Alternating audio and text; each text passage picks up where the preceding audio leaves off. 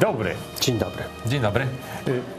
Y, Skoro pojawia się u nas y, jeden z naczelnych organizatorów fajnych koncertów, Mateusz Prus, to znaczy, że Good Vibe Festival zbliża się wielkimi krokami, chociaż są mniejsze y, w tym roku. Albo przyszedł już odwołać. Albo właśnie, o, o, o, opowiedz. To, to, to, to, to, to, to. E, Nie, no mam nadzieję, że nic się nie stanie i że nam kraju nie zamkną znowu, tak jak to było w marcu i jednak ten festiwal w zmienionej formie, przystosowanej do nowych reguł się odbędzie. Tak, Właśnie tak jakie reguły? Jak, jak, to, jak, to, y, jak to załatwiłeś, tak powiem? E, No, Główny Inspektorat Sanitarny, Sanepid, y, ogłasza oficjalnie zasady organizacji imprez kulturalnych. One się zmieniły po 17 lipca, no i my się dostosowujemy jako organizatorzy do tego, czyli robimy w plenerze, bo więcej osób y, może wejść, y, przeliczamy metry kwadratowe na, na ilość osób, która tam może wejść, to jest wyższa Ale trudno było, to, trudno było to jakoś opanować i nie, no, y, na pewno logistyka jest dużo bardziej zawiła No, niż... no jest, no trzeba właśnie pamiętać o tym, żeby, żeby było miejsce, te, te metry kwadratowe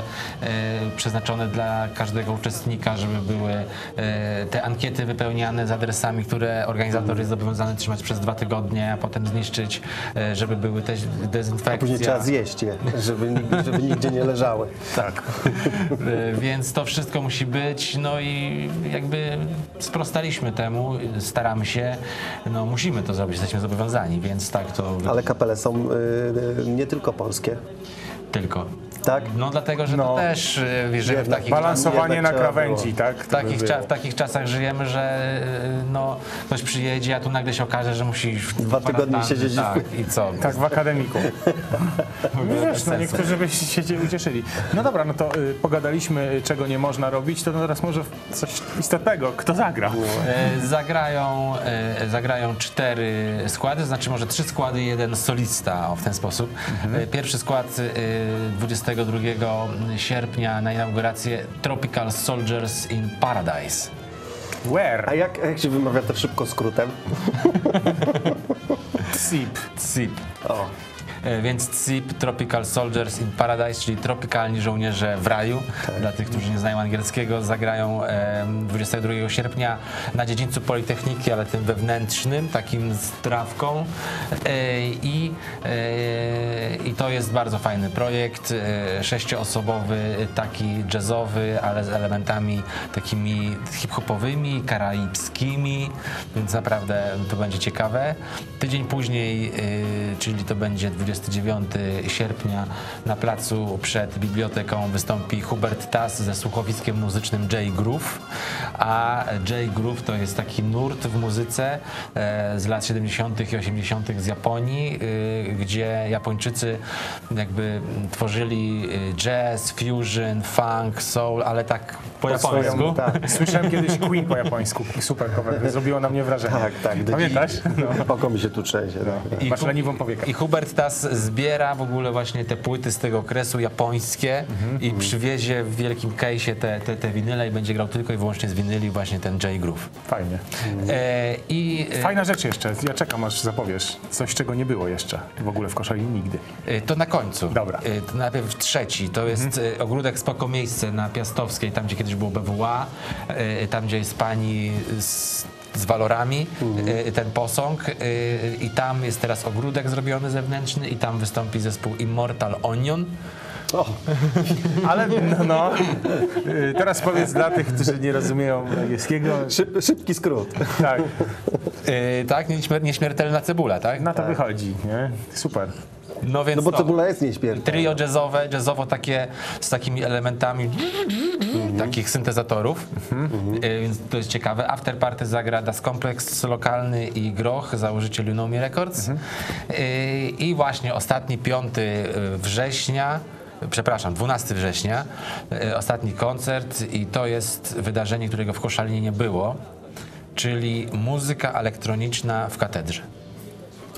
Katedra jest o, o, o, oczywiście otwarta na kulturę i tam jest festiwal organowy i tam tak. jakieś chóry, super. no ale to są całkiem inne wibracje, że tak powiem. Nie wiem, Natomiast czy... tutaj wchodzi Hati Vati, jeden z najważniejszych twórców muzyki elektronicznej i zaprezentuje swój set ambientowy. Pięknie podświetlonym wnętrzu. Mam nadzieję, że firma tutaj yy, Z Koszalina. z Koszalina się postara i ładnie oświetli Mhm. katedrę. Dużo E, strobo. Tylko. E, Może jakiś nawet dym się tam uda gdzieś przemycić. Dym będzie, ale po koncercie. Sceniczny. Więc no oczywiście muzyka jest dostosowana do wnętrza, bo jednak trzeba zachować powagę w kościele. No i ambient. E, ale i ten ambient puszczany przez te jego tam elektroniczne sprzęty, no myślę, że to będzie wow.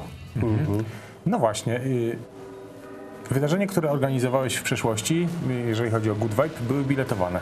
Jak to teraz wygląda? No teraz to wygląda tak, że jest to darmowe. No właśnie. Po prostu. Czyli przychodzić. Są wejściówki oczywiście, Są tak? wejściówki, e, nie wiem jak to wygląda mm, e, w tej chwili, e, bo one schodzą na bieżąco, więc może być tak, że kiedy jest emisja programu, to już może ich nie być, ale, mm, ale jeżeli Państwo wejdą na, do nas na, str- na stronę internetową goodvibefestival.com jest przeniesienie do serwisu Evenea, gdzie można zobaczyć, czy te wejściówki jeszcze są. Ich mamy po 150 na każdy koncert, więc nie jest tego dużo. I, I kto pierwszy, ten lepszy oczywiście, więc też taki apel, że jeżeli już Państwo się zdecydują je e, za, pobrać za darmo, to żeby przyjść, a jeżeli coś Wam wypadnie i nie możecie Oddać, przyjść, tak. to żeby nas powiadomić na przykład, że nie przyjdę, to wtedy my będziemy mogli kolejną osobę z kolejki wziąć, żeby nie było tych takich tych pustych. A, a jaki, jaka jest jakiś sens? Darmowe wejściówki i, i darmowy ten bilet? Ograniczenie liczby gości, nie? Chyba. Eee, Myślicie? No, tak. Myślę, że chcieliśmy zrobić prezent, Aha, że że tak. ludzie są spragnieni kultury i niech sobie przyjdą za darmo. Dlatego też, że e, pomogli nam nasi partnerzy i po prostu mogliśmy to zrobić. E, Ale też ten na szyi i takie coś jest wtedy, nie? Jest? Że, że, że, że VIP? no mo, może. Może podyndać, nie? No, że Jestem wtedy- VIP. Tak, Tak. lepiej się wygląda. No, no dlatego no stwierdziliśmy, że w tym roku w tę stronę pójdziemy. E, Festiwal jest może skromniejszy i dlatego też. e, Podoba mi się też to, że, że odkrywasz fajne miejsca na, na koncerty. Politechnika w tym miejscu nigdy nie miała takiej imprezy.